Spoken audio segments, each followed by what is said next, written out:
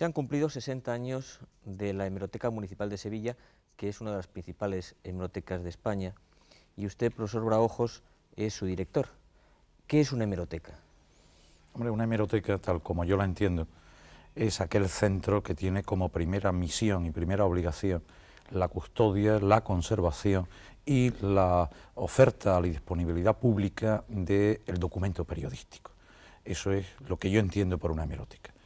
Por tanto, eh, conservar los periódicos, eh, organizar ese fondo de documentación periodística y a partir de ahí poner todo ese fondo al servicio de la consulta y básicamente al servicio de la investigación.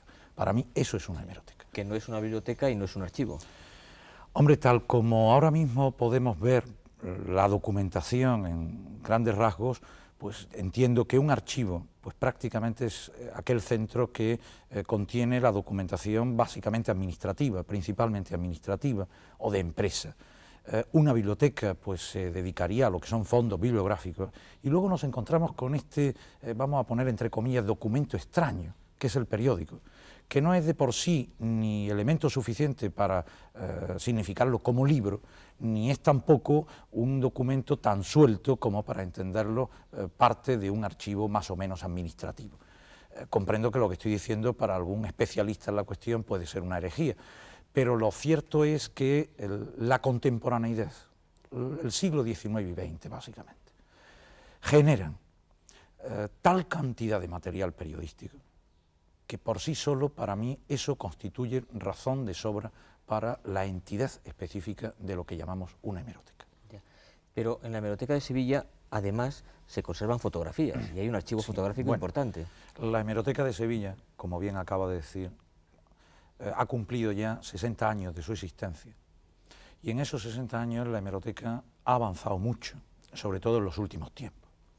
La hemeroteca de Sevilla, hemeroteca municipal de Sevilla, no olvidemos, pertenece al Ayuntamiento de Sevilla. La Hemeroteca de Sevilla hoy por hoy vendría a ser una especie de nombre, igual que la Biblioteca Nacional. La Biblioteca Nacional no es solo una biblioteca, la Biblioteca Nacional es un centro de investigación, y un centro de investigación desde la diversidad de sus fondos. Pues la Hemeroteca Municipal de Sevilla vendría a ser algo parecido, más modesto, claro está. Entonces, la Hemeroteca Municipal de Sevilla ahora mismo eh, se organiza en torno a tres grandes secciones la sección de documentación periodística, que sería el tronco central, con documentación que va desde el siglo XVII a la de ahora mismo, y con documentación que abarca no solamente Sevilla, título sevillano, sino de toda Andalucía, de toda España, de lo que fueron colonias españolas o plaza de soberanía en otro momento, y un, un lote importante de documentación extranjera, principalmente hispanoamericana. Esa sería la sección principal. Luego tendría una segunda sección que yo califico de documentación no periodística, que alberga dos importantes fondos.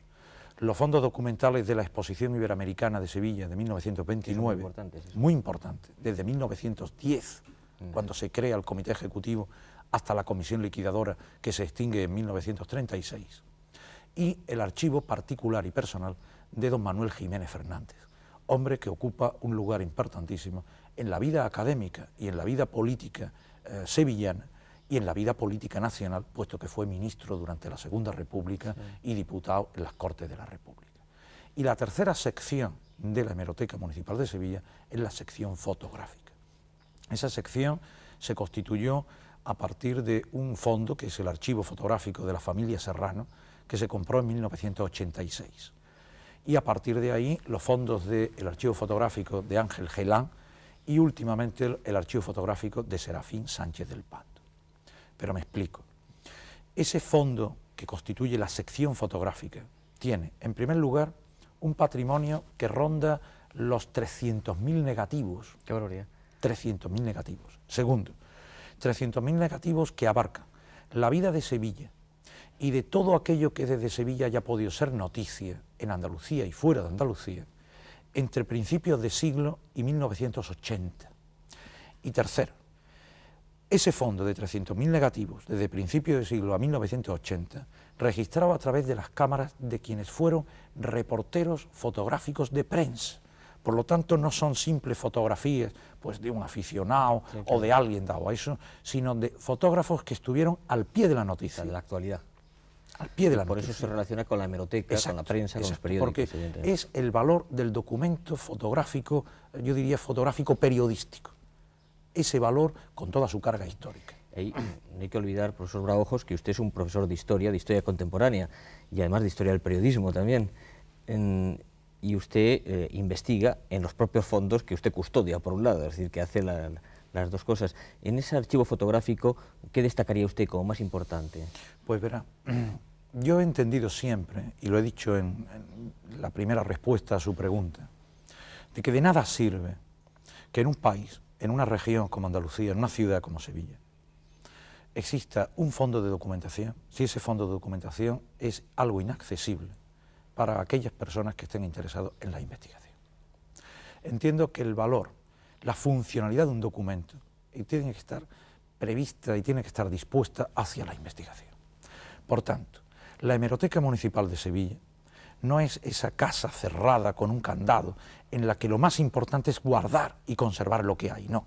Lo más importante es que todo eso esté al servicio de la investigación. Incluso más, la propia Hemeroteca Municipal de Sevilla eh, desarrolla desde ella misma líneas de investigación.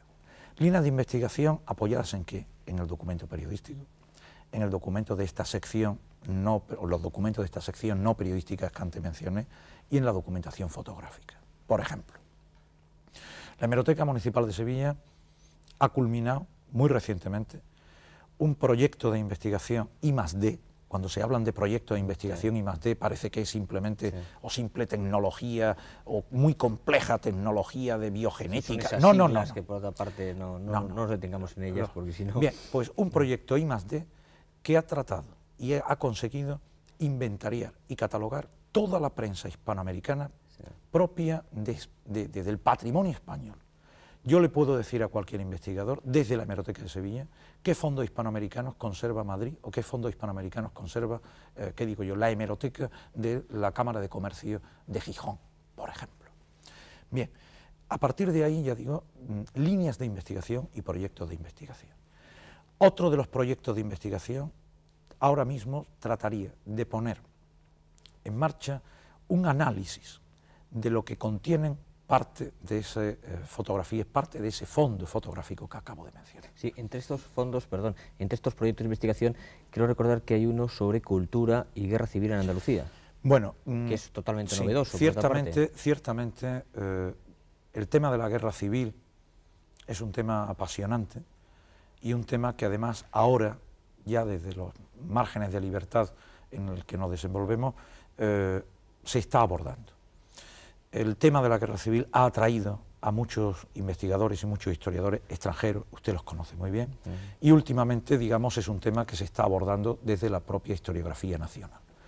Ese tema, la guerra civil, evidentemente lo primero que ha atraído al investigador pues ha sido el tema político, el tema social, el tema de la represalia, el tema militar. Y cuando en estos instantes parece ser que esos temas están lo suficientemente cubiertos, la investigación ha girado hacia el análisis del fenómeno cultural durante la guerra civil.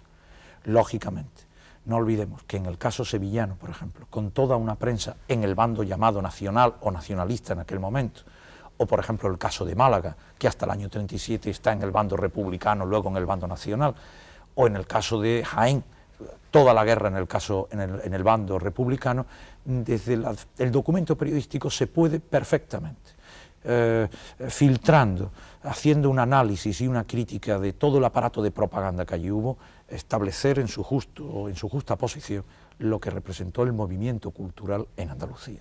Si a eso le añadimos el testimonio fotográfico, que nos indica perfectamente cómo se desarrollaron las exposiciones, las inauguraciones, los actos en los teatros, eh, las representaciones, evidentemente llegará un momento muy próximo en el que podremos decir, mire usted, con esta carga de propaganda, con aquella otra carga de propaganda, con estas limitaciones o con aquella otra, la cultura en Andalucía durante la guerra civil se desarrolló siguiendo estas pautas. Eso lo podremos hacer eh, muy próximamente y además eh, desde un trabajo ineludible, que es el trabajo de Meroteca. Indicios tiene intención de dedicar un programa precisamente a esa cultura bajo la guerra civil en las distintas partes del país y contaremos con, usted, profesor Braujos. Pero no quiero terminar sin recordar que la, hemeroteca de Sevilla no es la única hemeroteca de Andalucía, naturalmente. Hay otra en Córdoba. Hay, una, hay una en Cádiz muy importante y muy rica. No olvidemos lo que es el fenómeno periodístico en Cádiz al amparo de las Cortes. Hay otra en Granada que pertenece a la Junta de Andalucía, que está en la Casa de los Tiros, que necesitaría ayuda y auxilio y que tiene fondos muy ricos de Granada. Y hay la que usted se refería, una que se acaba de inaugurar el año pasado en Córdoba, al amparo de la Caja de Oro de Córdoba, que es tal vez la más joven. Hay también fondos periodísticos en Málaga, hay en, en Jaén y demás. Pero entiendo, y una de las cosas que he hecho en falta es una hemeroteca regional, porque el fenómeno periodístico histórico en Andalucía creo que tiene entidad suficiente como para que se creara o se pensara en dotar y en instituir esa hemeroteca regional. Cúmplenos en cualquier caso esta noche recordar la existencia de las hemerotecas en Andalucía y la importancia del trabajo que se puede hacer de investigación y de recogida todavía en esas hemerotecas, que son precisamente nuestros archivos más vivos. Y algún día en las hemerotecas estará también la televisión, a ver si nos guardan ustedes un rinconcito en la hemeroteca para indicios. De hecho, uno de nuestra, una de nuestras colaboraciones más asiduas es con esta casa, con Canal Sur. Buenas noches. Muchas gracias. Thank you.